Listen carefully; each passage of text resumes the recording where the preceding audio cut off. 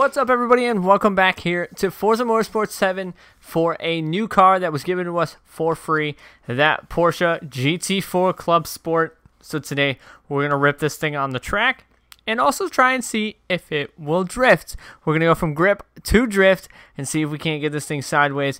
In the uh, trailer for it, it was getting a little sideways. So we're going to see if we can't purposely get this thing sideways and purposely drift it. But of course, before we do that, we're going to have to drive it how it sits. Because what fun would it be if we just started drifting it if we didn't know how it drove normally? Because who knows, it could drift out of the box normally without having to uh, do any big changes. So I think we're going to go to Dubai because I feel like that's a very good uh, test track for it. And we'll do test drive in Dubai during the day. Full circuit. And we're going to go straight into it. Like I said, we're going to try and get this thing sideways with our handbrake and everything like that. But we're going to grip it first because it is a new car for us. So I wanted to uh, see how this thing goes both ways before uh, we determine if it's a no-go for drifting. Did not do this prior, so I'm not sure how this is going to go. So it's going to be first reaction for you guys on this when it comes to when I actually start driving and drifting it. We just got it all set up. Got our wheel cam turned on. We are going to be running our actual shifter and clutch, even though it is a paddle shift car. So we're just going to go and uh, see how this thing goes. Sounds good. Dash looks good. So we're just going to go full send. It is already rear-wheel drive, obviously. And I'm not sure if my shift light points are correct. Close, but that's more set for my drift cars. Does get a lot of backfire. And it does feel pretty good. In the grip aspect. Switch up the first person here. Just so we can have actual full shift light telemetry.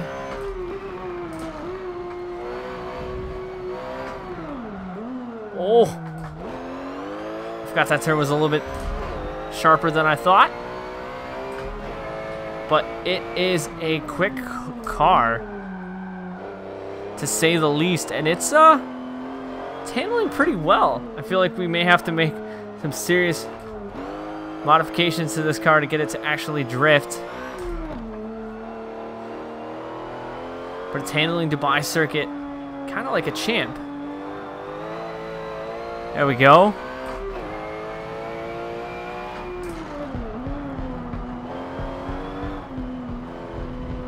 Trying to take a different aggressive style race line. We push wide there. Go back to third person. Oh, ow. So first impressions of the new car. It is a sweet car. We're getting a little sideways. Oh, it drifts. This is going to be interesting when we actually purposely start drifting it. Settle it down, settle it down. When we actually start purposely drifting it, we're going to add some toe and stuff like that to try and get some more steering angle out of the car. But the fact that this car handles so well with no assist on, I do only have, I believe, ABS on. Actually, no, I think I've turned completely off. So no traction control or anything like that, and this car is ripping here in Dubai. Probably didn't have to brake as much there. I felt feel like if I was on a paddle shift, could be a little bit faster in some of these turns, a little more aggressive. Try and grip it up. There we go. This thing is quick. I think I may do some online actual racing and stuff with this car. This car is fun to drive and we got it all for free. So now that we've actually driven the car how it's supposed to drive, we're gonna pull that handbrake. Oh, oh. It's probably not what they expected when they said, here, here's the keys to a GT4 Porsche.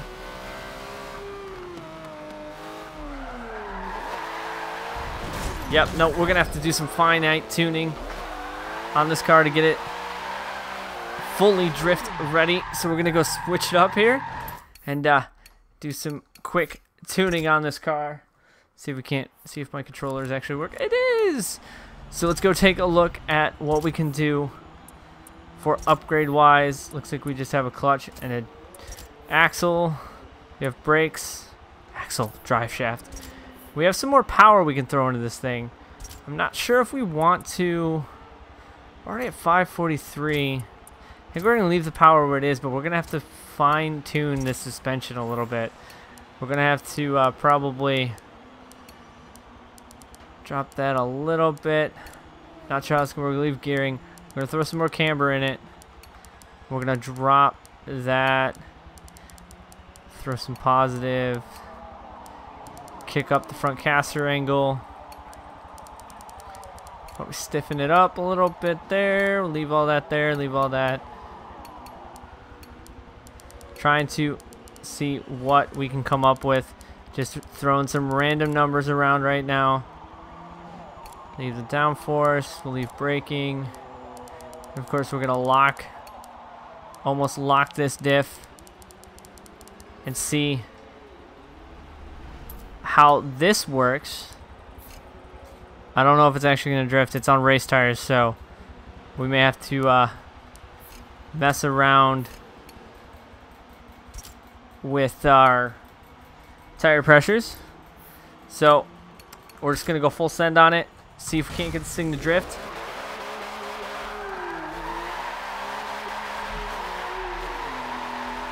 This donut's pretty good.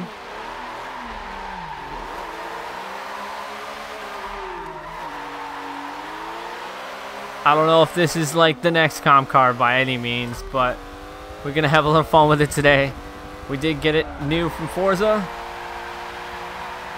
So, you know, we were going to play with it today and have a little fun. So this thing grips up really quick. So I feel like this car is only going to work really on higher speed drifts, but we're definitely going to give it a run for its money. The new GT4 Club Sport, available free for all of us on Forza 7.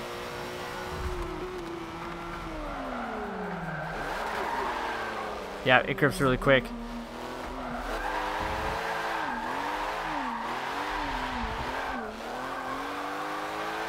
I feel like we may need to kick up that tire pressure. There we go. A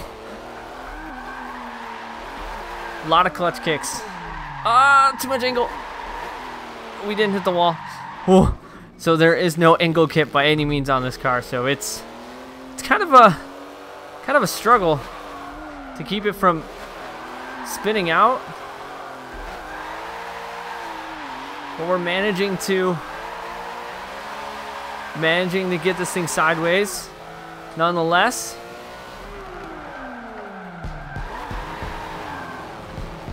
when you hit the brakes, it locks up. It comes to a halt, grinding halt from drifting real quick.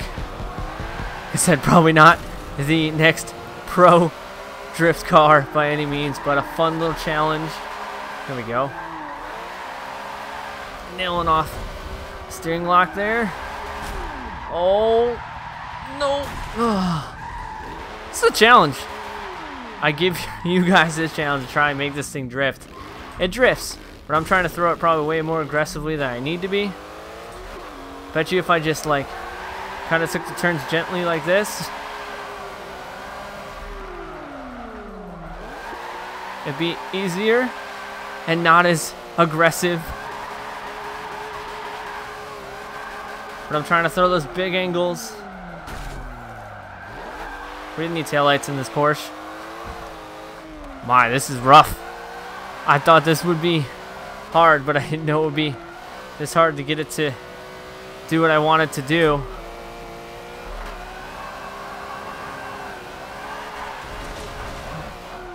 Oh, understeer. Oh. Whew. So if you guys give this a shot, let me know if you guys came up with a tune. I will gladly give your tune a shot for this Porsche in this race car drifting expo that I'm trying to do.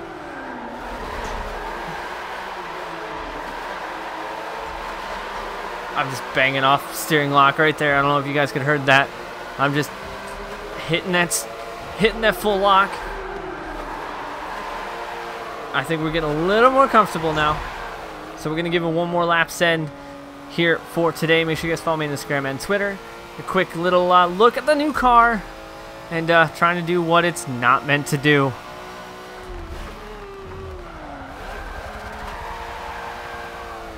Yep, too much grip. Here we go. Oh my.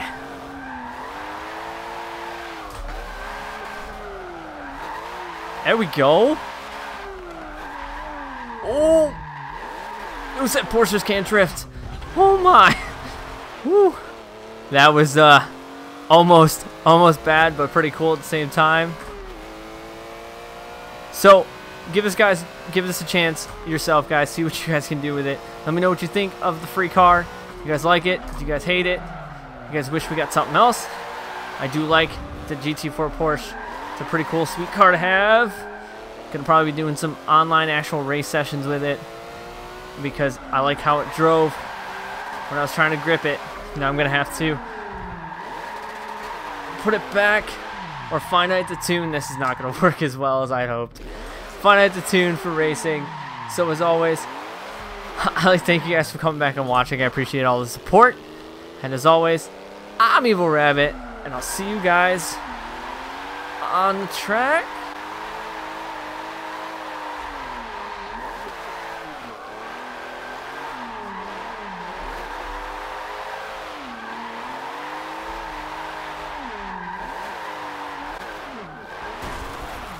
What? I get it at the end?